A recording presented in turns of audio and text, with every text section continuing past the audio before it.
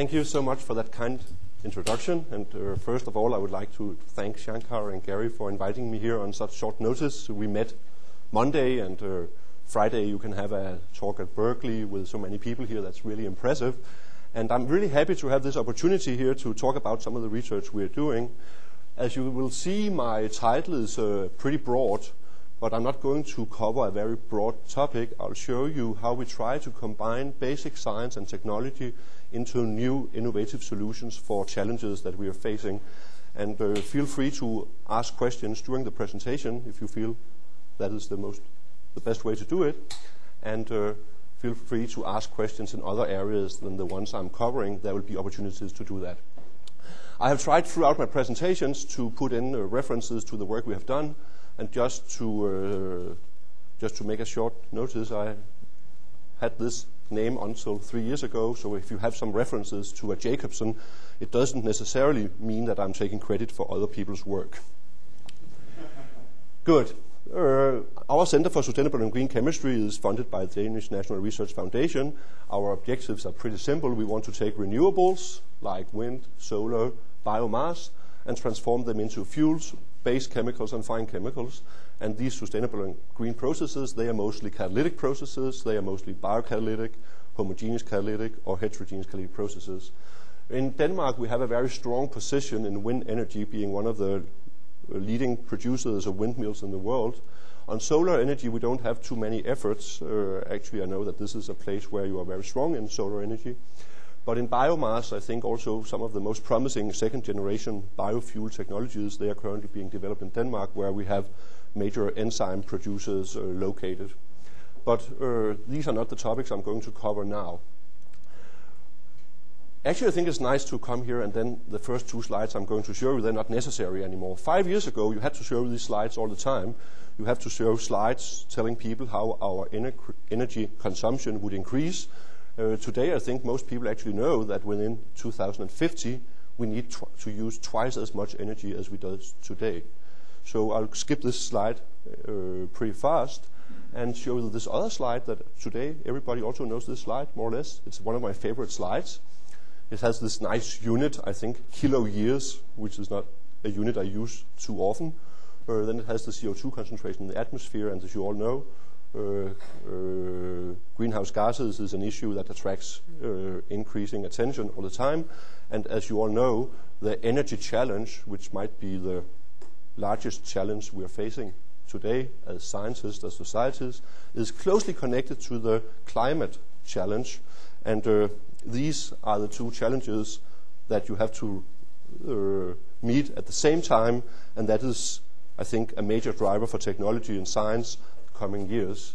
And I noticed that the other day you also get a reasonably large uh, funding from BP to pursue some of these uh, opportunities and uh, face some of the important challenges that we have.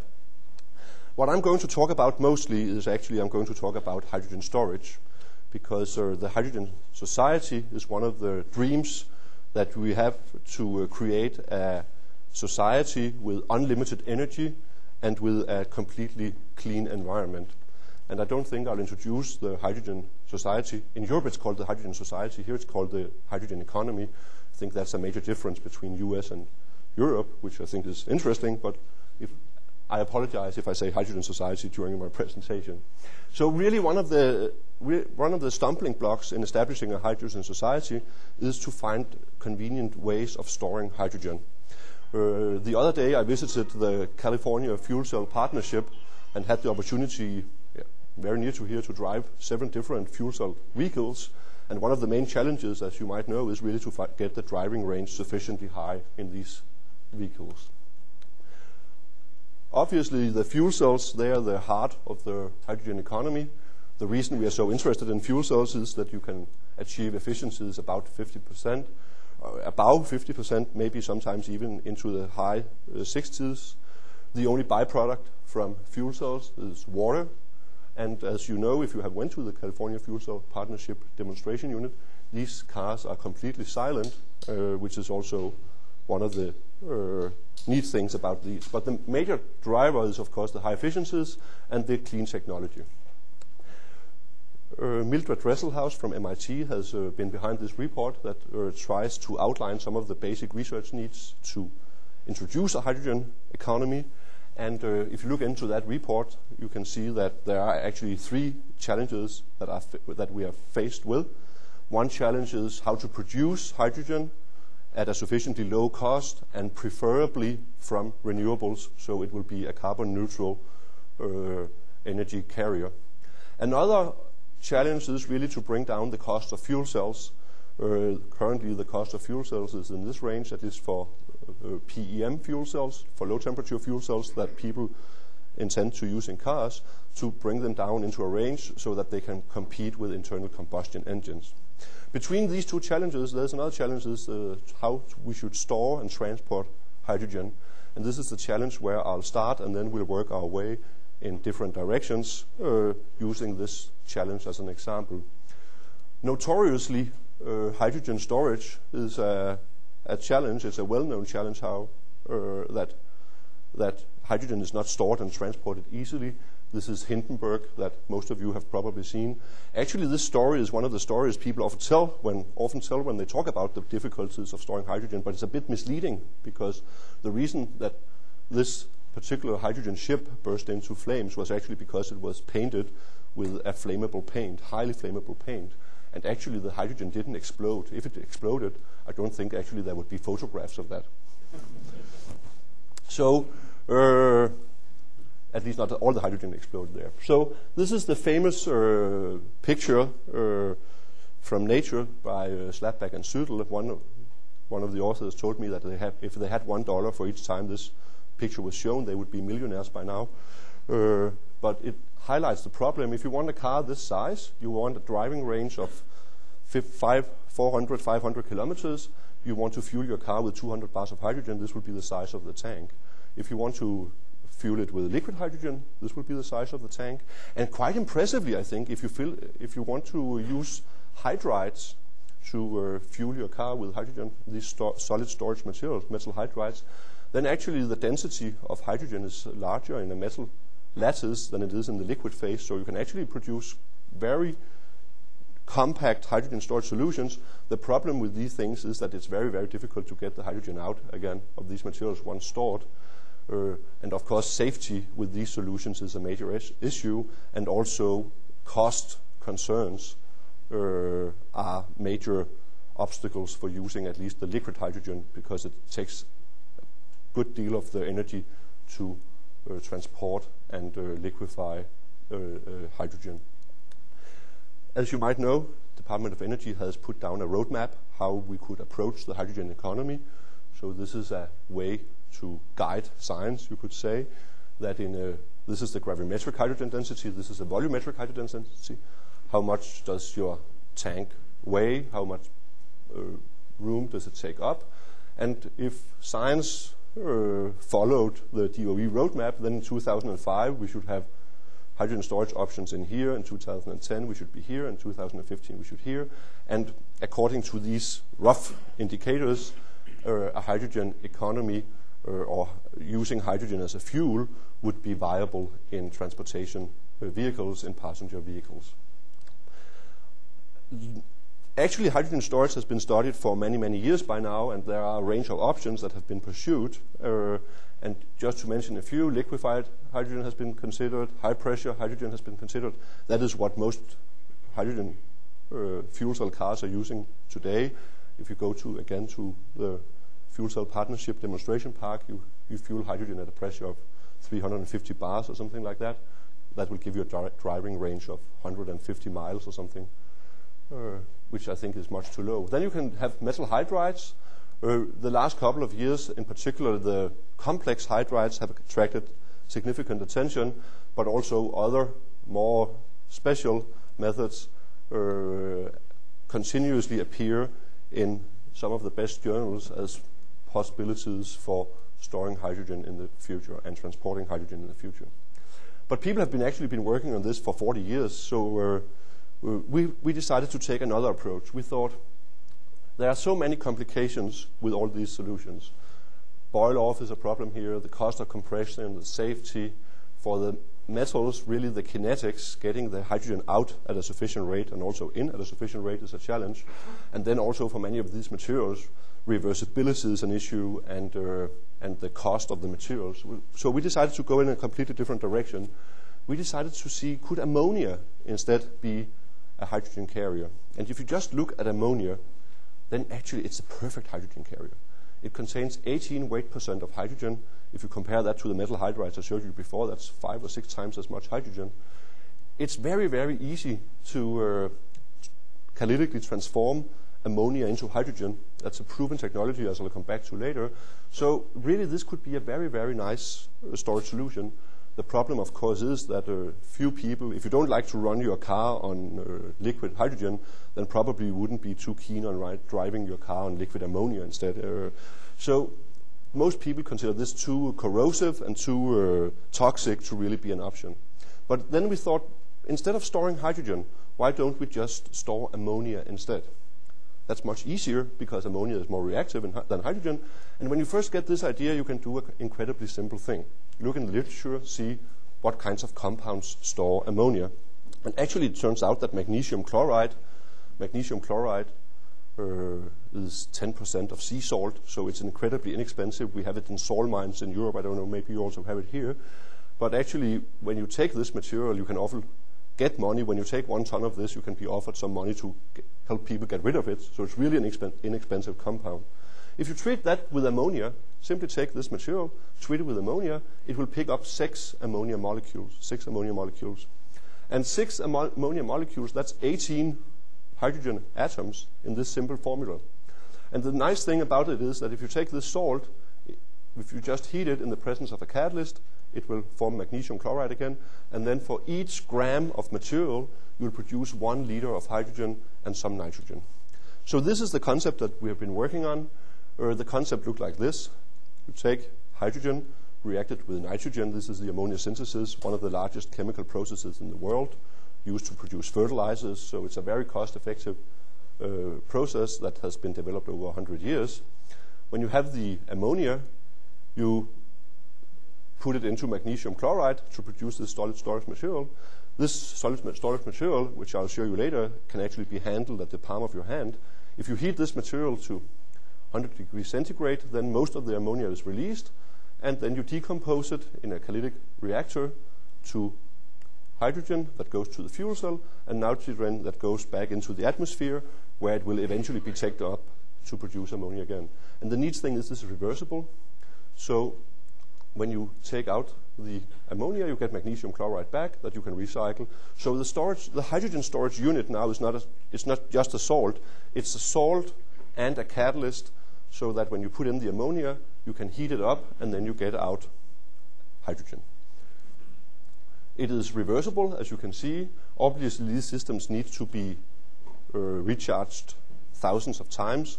I have almost shown here that it can be done at least two times.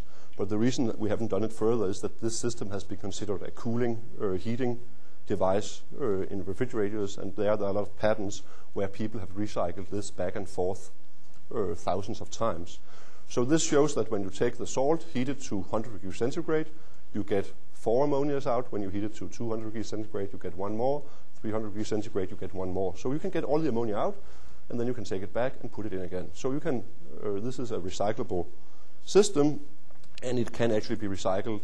Uh, uh, we have done it 10 times, but in the patent literature, you can find people for, that for other applications have done this many, many more times than we do.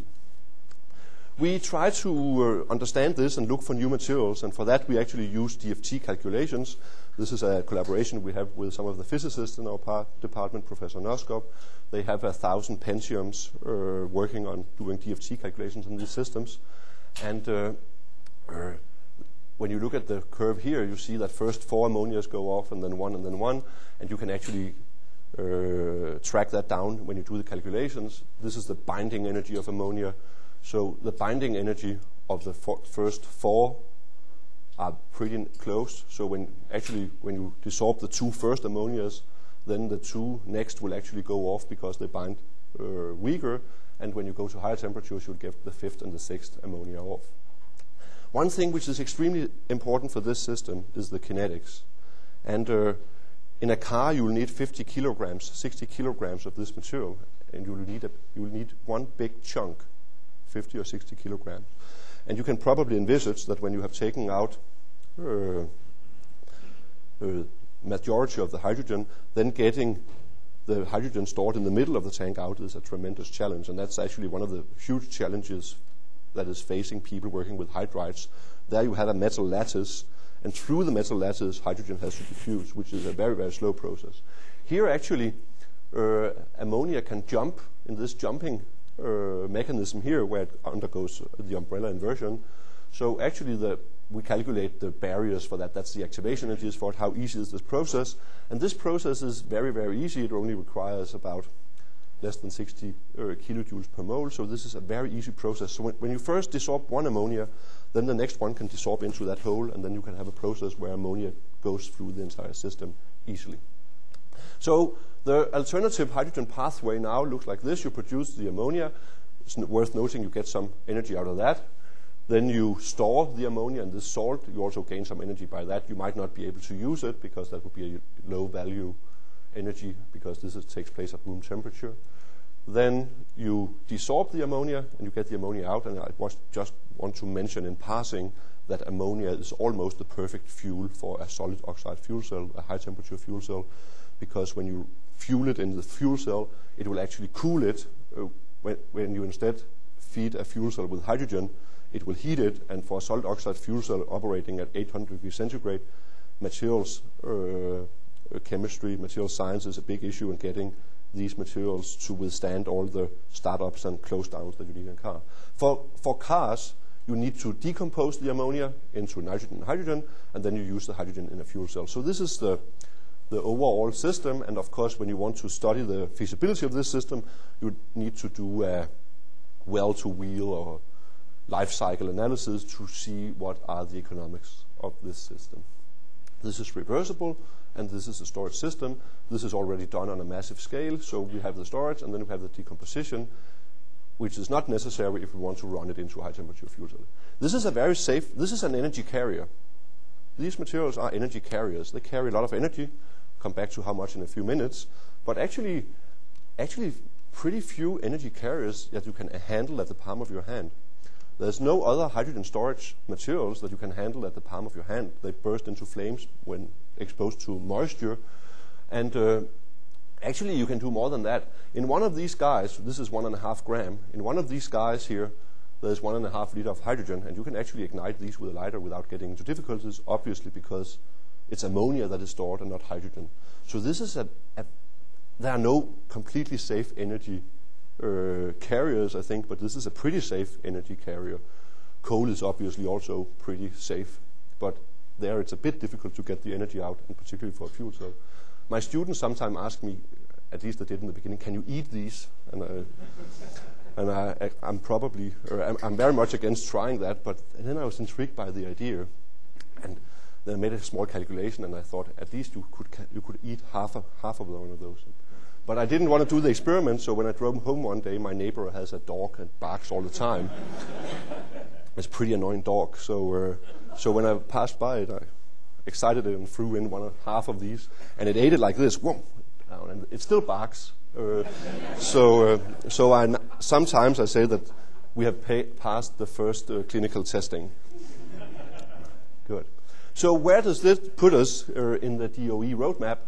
Yeah, just to make a very long story short, this is a DOE roadmap, and I actually think that these are the only materials, hydrogen storage, these are the only solid hydrogen storage materials that are in this window at the moment. Other may, of course, go in there, but the thing that I want to highlight is that this is not a theoretical value. This is actually what we have built in a system, two kilogram size, and we're now building a prototype eight kilo size, which is, I think, a factor of maybe 100 larger than the demonstration units for the other. So this is a pretty big system, which I'll show you a little later. So this is measured for a real system. Uh, if you take all the hydrogen out of one tablet and put it back into the same volume, the pressure would be 1300, 1400 bars, depending on which equation of state you use. So this is pretty high density hydrogen storage. The key to this, making this eh, technology work, is actually you need to understand ammonia decomposition because that requires the energy. So if you're not efficient at decomposing ammonia, you will not be in the game. There we have the benefit that we have been interested in ammonia synthesis for 10 years. This field, of course, was invented by Fritz Haber, who won the Nobel Prize for this in 1918. Later, Carl Bosch won the Nobel Prize for his uh, contributions to ammonia synthesis. And this is one of the most studied catalytic reactions over time. And actually, here at Berkeley, Professor Gabor Somorjai has done very famous work on this, which uh, actually pioneered uh, uh and revitalized this field uh, 20 years ago, 25 years ago. The reaction is obviously important. The synthesis reaction is important to feed the world because it's a fertilizer. Uh, this is the population growth over the last 100 years, and this is the amount of fertilizer used, so see a nice correlation. And some people say that this invention is actually the most important in mankind's history. But I think there are different views on that. We actually did a lot of work to understand this reaction. We were the first to do real atomic resolution electron microscopy of the catalyst in the working state. We had an electron microscope that could operate at, we have an electron microscope that could operate at 5 millibars pressure, so we can actually see the nanoparticles under operating conditions. And uh, then we also uh, have been working on using these density functional theory calculations to help us look for new catalysts. And one of the things that is interesting is that today we have a complete atomic scale picture of these processes. And one thing we have learned uh, over the last 10 years is that most catalytic proce processes, and this process in particular, it only occurs on defect sites. If you have completely perfect crystal surfaces, this reaction never runs. It only runs on defect sites, and that was actually proven first by theoretical calculations, and then it was verified later in experiments. And we actually are able now to do these calculations. We can calculate the catalytic rate this is the calculated rate. This is on ruthenium. We have picked the ruthenium because it's a little easier to work with, and it's the most active catalyst known today for ammonia synthesis. You could do the same thing with iron. I'll show you in a few minutes. But we do these calculations. Uh, they, they, are, yeah, they are pretty impressive. This is just to show you the rate limiting step where nitrogen goes down on a ruthenium surface and is split. This will never happen on a flat surface, but only on a step. Uh, from no fitted parameters whatsoever. This is the calculated rate, and this is the measured rate, and this is uh, a remarkable agreement uh, on the calculation of rates from first principles. Now, this has taken a lot of years to understand ammonia synthesis. Actually, we don't fully understand it yet, to be completely honest. There are still some things we need to resolve. We have worked on this for 100 years, so rather than doing more experimental studies, we now use the computer to guide our research. And the computer is really a fantastic tool here because the computer can calculate the activation energies, how the, the barrier for the reaction, and then it can measure the binding energy. And the interesting thing that we have learned the last few years is that kinetic parameters for this reaction are linked to thermodynamic parameters. And now we have a link between kinetics and thermodynamics. That means from thermochemical data, we can predict reaction rates. And that's a pretty unique thing. So rather than looking, doing experimental studies, we worked 10 years on ruthenium, a single crystal of ruthenium. Rather than continuing with the next metals, now we rely almost exclusively on calculations. And this link here between kinetics and thermodynamics is called the Bronsted-Evans-Polanyi relations here. So now we can sit down. Actually, I don't want to drag you through the boring details here, but we can sit down and make a model of the reaction. This is the energy. So here we start with hydrogen nitrogen. Hydrogen goes to the surface. Nitrogen splits on the surface nitrogen binds hydrogen, one more hydrogen, one more hydrogen, hydrogen pops off and goes into the gas phase, and we can actually now calculate the rate of the reaction, and it's only a function of one parameter. So this is a very, very simple thing. When kinetics are related to, to thermodynamics, like it is in this case, then the rate is only a function of one parameter. How strongly does nitrogen bind onto the surface? So now we can use that as a descriptor. And when you do that, you can sit down and calculate the performance of all catalysts. This is the activity, and this is the, how strongly they bind nitrogen. Essentially, this is the periodic table of the elements as you move along it. And you can see that at different reaction conditions, there are very different rates. So when you have low ammonia concentrations, then iron is good. If you have even lower ammonia concentrations than this, then actually molybdenum is the best. But when you go to increasing ammonia concentrations, then ruthenium is the best catalyst. So that means when you have a catalytic reactor where hydrogen and nitrogen goes in, you form some ammonia. Then in the inlet, the best catalyst is molybdenum. In the middle, iron is the best, and in the end, ruthenium is the best. And there's been a huge controversy over these things simply because some people reported that this was the best catalyst, others that this was the best catalyst, and others that this was best catalyst. And the thing to learn from this is there is no best catalyst. The best catalyst composition will depend on the reaction conditions. And that's an important thing to learn because in real life we always have catalytic reactions where we go from a starting place to an ending place, and all the way through these, the optimal catalyst composition changes. So actually we can use this for something else, which I think is important. Now we know what is important. We want the best catalyst has this binding energy. So now we're able to rationalize things. Now we want to predict things. So we can see that the best catalyst under these conditions should have this binding energy. How do we produce that? A very simple-minded approach. Uh, we, we took a very simple-minded approach on this. You need this binding energy here. Why don't you just combine a metal with a too high binding energy and one with a too low binding energy? If they form an alloy, then the sides will be composed of molybdenum and cobalt, and then maybe it will have an average binding energy. If you put that into the computer, the catalyst should go there. Obviously, cobalt molybdenum is, should be better than ruthenium, or at least comparable to ruthenium, and of course, it's much, much less expensive than ruthenium. So this was an interesting idea to pursue. And when you do it in the computer, you take cobalt, molybdenum, do the alloy, you actually find that it should be in the middle between the two, a little closer to molybdenum, but that's because molybdenum binds nitrogen stronger than cobalt, so nitrogen is drawn towards molybdenum. And these are computer experiments. Then the next thing you do is go into the lab, make the catalyst, cobalt molybdenum alloy catalyst. This is the industrial catalyst, which is used because it's inexpensive. Uh, iron is very inexpensive. This is ruthenium, which is used in a few installations in the world. It's not used too much because it's too expensive. And this is a new catalyst simply designed from this intuitive approach. Uh, and these catalysts, under certain conditions, is better than the best catalyst known ever for ammonia synthesis. This is a synthesis reaction. You can do exactly the same thing for the decomposition reaction because if you go this way or that way, that's two sides of the same coin. So you can do exactly the same calculation, and when you do the same calculation, you can see that you also get this volcano curve, as they're called. And actually, for the decomposition, ruthenium is the best, Cobalt is the second best, and this is the third best. Actually, it's a bit better than this because this is much less expensive. Molybdenum is less expensive than cobalt, so this is also a very interesting catalyst for decomposition.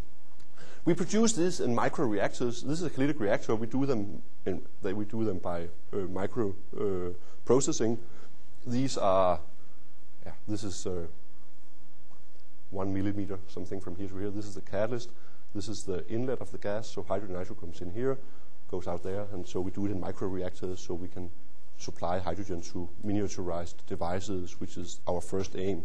It's taking a while to develop this uh, technology, but now we are actually able to decompose. We can. This is the ammonia decomposition, and with this catalyst, which is our currently best catalyst, we can decompose ammonia around 300 degrees centigrade, which is a pretty low temperature to run this reaction, and it's sufficiently low that it's interesting for small mobile applications. So to move from the basic science again back to the system, what does the system look like? This is where the engineering comes in, the chemical engineering. This is a container. In the middle is the catalyst. Uh, the blue thing is our storage material. When you heat this, when you heat the catalytic reactor, then some heat goes into the reactor, but of course some heat, heat is lost to the surroundings. That heat will make the ammonia go out of the salt. Pressure will build up, and then ammonia will go out this way pass over the hot catalyst, and you produce hydrogen.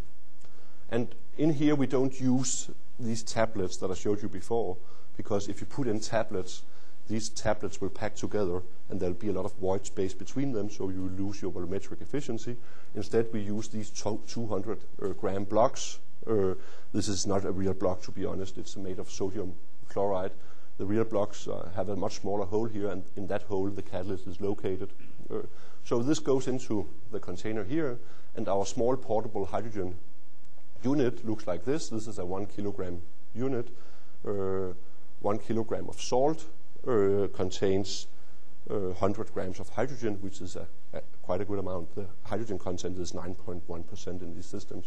And this is a small unit. We are currently building larger units. So this is what it looks like. And this is finished systems that we are now trying to uh, get use of in various applications. But maybe the hydrogen will only materialize when hydrogen production has improved and when fuel cells have improved. So while we are waiting for that, what should we do? And one of the big challenges in Europe is that we have 50% diesel passenger vehicles. As you might know, I think you probably all know, diesel engines are 30% more efficient than gasoline engines, but they're also known to pollute more. But in Europe, the diesel market is growing, diesel car market is growing, the gasoline car market is declining because these cars are much more energy efficient, 30% better efficiency. The problem is that they emit particulate matter and they produce nitrogen oxides into the atmosphere. And therefore, European legislation uh, says that these cars must now be equipped with particulate filters, and in the next coming years, they must also have uh, catalytic uh, systems that remove the nitrogen oxides. And the way you remove nitrogen oxides from a diesel exhaust uh, is by a catalytic reduction. And what you do is you take the nitrogen oxides, react them with ammonia to form nitrogen and hydrogen. And diesel cars that are equipped with particulate filters and with these SCR, selective catalytic reduction systems, they don't pollute more than gasoline cars. So this is a way to get 30% improved fuel economy without Uh, having any negative impacts on the environment. And the main problem, of course, is you need to have ammonia storage on board. But our hydrogen storage system is, of course, also a ammonia storage system. You just have to remove the catalyst, so it's actually much easier to store ammonia than it is to store hydrogen. So the cars we're working on now, or the systems we're working on now, have a container of this salt. When it's heated, it produces ammonia that takes out the NOx in a catalytic reaction.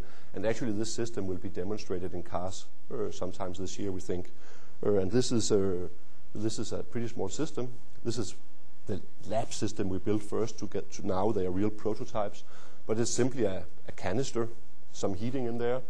Then you have a buffer volume, you have a pressure sensor and a valve, and then you can actually, what we are doing at the moment is you're running all kinds of driving cycles for cars to see if all the driving cycles of major cities can be accommodated with this very, very simple system. It's an extremely simple system. You essentially only need a valve that will open and close when the car calls for ammonia. The system dynamics are, I've shown you here. I don't want to go into too much detail with that, but it shows that this system is actually the fastest system existing today to deliver ammonia into these exhaust systems where you actually, when you press the, the speeder, you need more ammonia instantaneously, and here the system is very flexible. The most important thing with this system is that it doesn't take up too much space. In a very old diesel car, European diesel car, it will go, I know these are European units, but I hope you can bear with me. You will need, in a very old diesel car, you will need 16 kilograms of salt, which is not that much actually. That will take you to 20,000 kilometers. That means you can go from one service interval to the next service interval, so 20,000 kilometers, and you can have a new cartridge put in. Modern diesel cars, the ones that are running in European uh, cities now, they are a bit more efficient. They have smaller NOx, and they, there you will need 8 kilo to, to go 20,000 kilometers. With the most modern diesel cars, those that will be put on the roads the next coming years, uh, these systems will be required. It will be required to take out the NOx, it will be required to take out the particulate matter. Of course, you can do it in many ways, but this is our suggestion how it could be done. And with these cars that are even a bit more efficient than these, you can actually, with 8 kilograms, you can run about 30,000 kilometers uh, with one cartridge. So we see this, this is not really a, an energy technology, it's an environmental technology, but as I said before, environmental issues and energy issues, they're related. And when you come up with new environmental technologies, they can enable more efficient energy technologies. So with this energy technology, you can run your diesel car without polluting, uh, and you can get the mileage that the diesel fuel will get you compared to the gasoline fuel. So this is, I hope, uh, uh, our way of trying to think green. Uh, we uh, we think green in the sense that we actually are devoted to develop better technological solutions. We do it by combining basic science with technology, and then we also look into is there a market for these things, uh, and at least can we get our research in this area funded, which I think is uh, prerequisite for doing interesting things at all. And with these words, I would like to thank you for your attention. Thank you.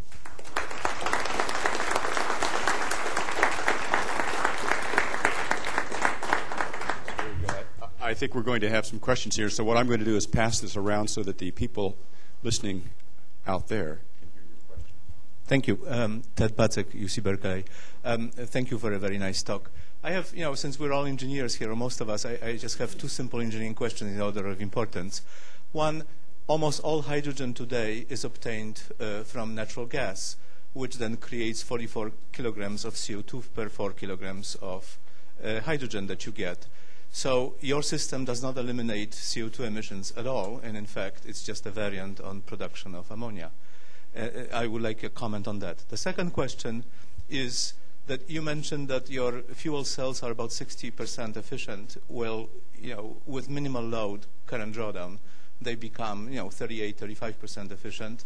They also cannot stand impurities in the hydrogen, which are, will be very difficult to avoid uh, in, a, in a system like this. So, you know, as an engineer with a straight face, can you comment on the hydrogen economy and also on how you make the hydrogen? Let, let me start with the easy question, the last one. Uh, how do we take out the, uh, the, ammonia from the hydrogen, which I think is what you're asking.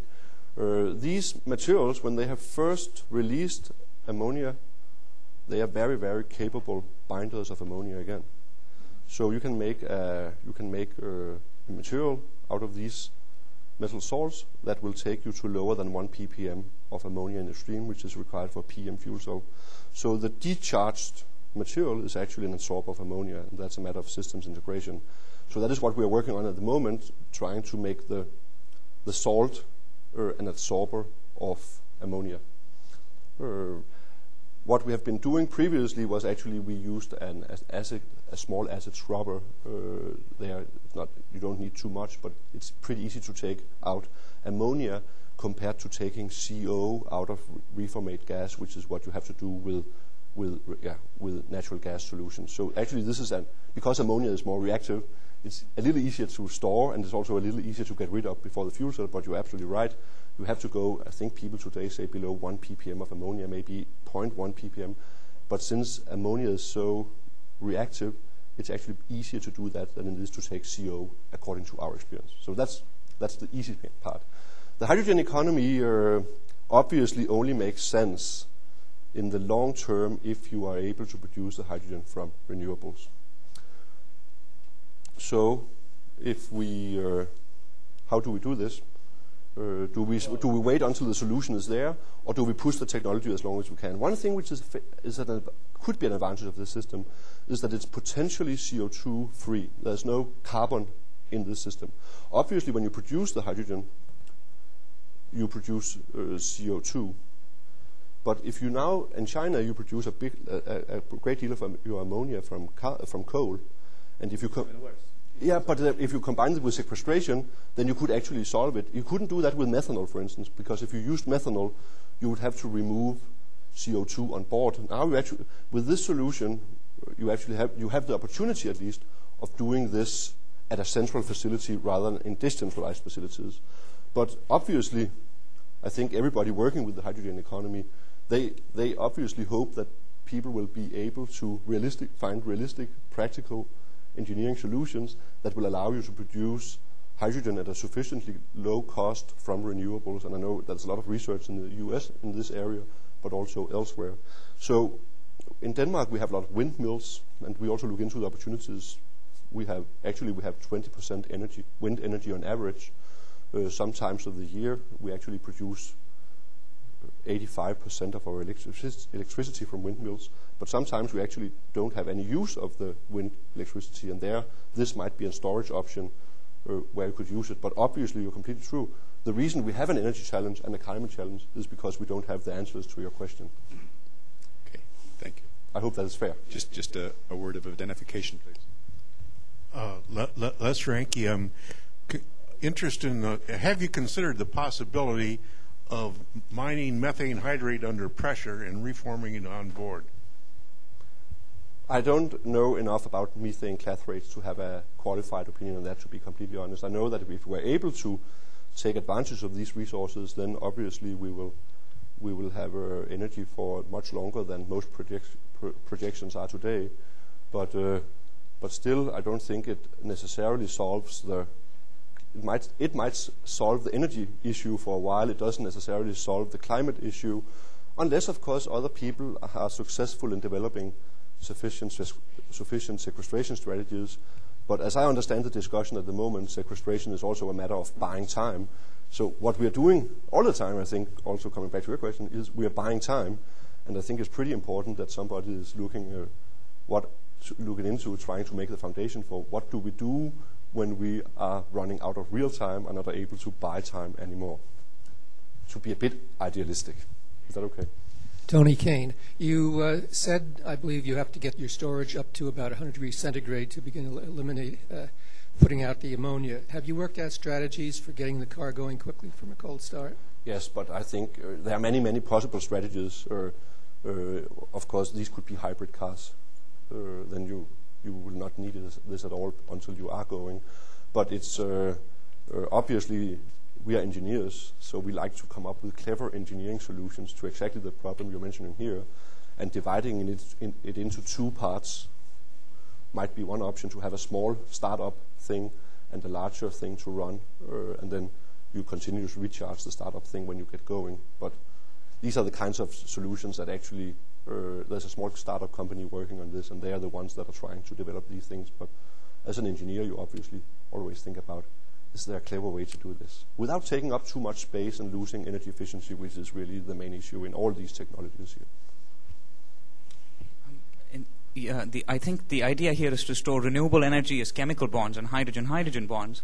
Why not store renewable energy as carbon-hydrogen bonds and work with a hydrogen with a hydrocarbon economy, which we know how to, which have high energy density, we know how to work with, rather than tackle problems of oxygen reduction on the fuel cell, try and make hydrogen. So why not store chemical energy as CH bonds? But, but I completely agree that that might be the solution we end up with. I think it's important that we are open to all kinds of solutions. The reason the hydrogen economy is interesting is, of course, that uh, potentially you can benefit from the high efficiencies of fuel cells, uh, which in terms of producing electricity will be able to, to compete with all other technologies we know of today. So that is one reason to try and do this, but obviously you can do this. You can you can feed methane into a solid oxide fuel cell directly. Uh, there are lots of materials problems because it forms a bit of coke and things like that. There are lots of challenges for companies working on this. I have been working with one of the companies before, so there are challenges there. But you could probably store it as as methane. I know in the states you are building a few plants on substitute natural gas at the moment, where you take coal, gasify it, and then transform it back into uh, into methane might, might not be the most environmentally benign uh, route to to get natural gas, but there are so many factors in these things: uh, security of supply, energy efficiency, climate. That I think we will see a wealth of different options coming up, and who is going to win in the long run? I don't know. People who does bioethanol will say that. BP might say now that biobutanol might win. Some people doing biodiesel will say that that will win. I think we'll have a mix we will have to use whatever we can eventually. So wind will play a role, waves will play a role, solar will surely be important, uh, not least here, may, maybe less so in Denmark. This is not, I'm, obviously I should make an advertisement for Denmark, but in this audience it might be difficult. At least solar energy is not obvious for Denmark with all the rain and uh, uh things we have there. But, uh, but you could come up with many things, I think yeah, I, I, know it was not a very precise answer, but I think the ideas you are, you are mentioning here, I think they are out there and people have them. Uh, other places in the US, they are working on transforming biomass directly into uh, liquid alkanes.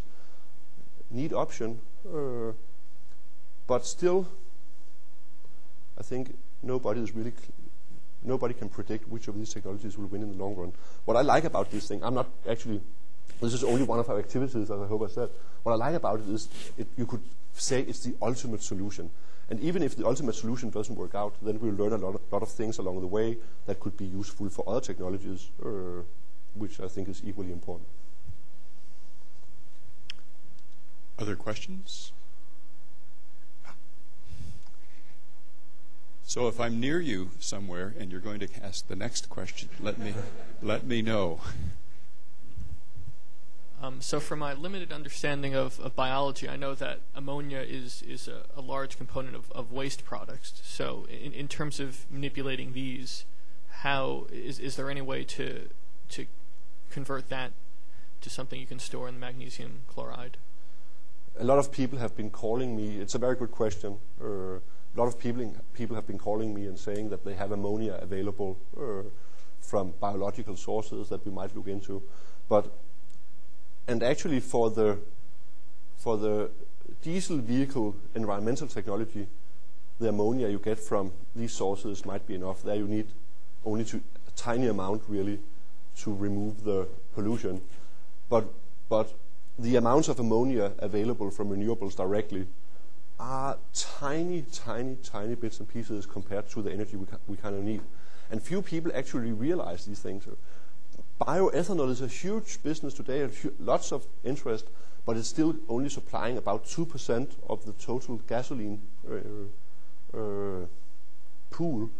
So even if this industry is, is growing with the growth rate that you see pro projected, it will essentially only cover 2, 4, 5% even in 10 years' time. The energy consumption on this planet is huge. So that is to, to give you a broader perspective on this. You know this, of course, but uh, Actually, I'm always surprised when I look at these numbers and see how much fossil fuels we actually use, each of us, every day. And it's not easy to find substitutes. And therefore, I think that we probably, in the end, will have to put this together by small bits and pieces that will hopefully compete and make sure that the best technologies are developed. Another question back here. I'm going to stay back here. Yeah. Hi. Hi, I'm Brian uh, from Berkeley. Um, so when I go to fill my car at the gas station, you know, I notice that there's always a smell of alkanes or, uh, you know, paraffins around. And, um, you know, if we're going to be filling up ammonia at, a, you know, at decentralized facilities, uh, it has the added problem that it's toxic at low concentrations. So, but you don't fuel ammonia; you get a cartridge with this material, for instance. But I can tell you, when you go to a hydrogen fueling station, you don't smell hydrogen for obvious reasons because it doesn't smell, but there you don't want leaks either. So actually, you, I think actually the, today you're absolutely right. You can you can smell the gasoline. I think that the safety precautions about hydrogen uh, tanks and the requirements for how much you can lose during fueling will be much more strict than they are gasoline today. And I actually I think there are some advantages because it is actually, if you, I, I don't know if you've been to the fuel cell demonstration park, but it's pretty impressive. You just take this handle and then it's a switch lock thing almost, and then car fills up. It's pretty impressive. At least I was impressed. I've been to a, I've tried a fuel cell car in Japan, but here you could actually try seven different kinds. It was a marvelous experience. You should go there if you haven't been there. Still no smoking at the hydrogen fuel cell. No, but actually you can. There, there are some yellow cross-hatched area where you shouldn't smoke, but you can you can you can use your camera and other electronic devices pretty close to this uh, station. I was impressed, to be honest, and I have actually seen a few of these things. I also one in DC, as you might know, and you have I think you have 23 of them in this state, something like that, these fueling stations. So it can it can be done, but if it's competitive, it's a completely different question. Well, I hope you'll have a few minutes to stick around for people that want to come up and talk to you in private. So thank you very much. Let's thank Professor Christensen once more.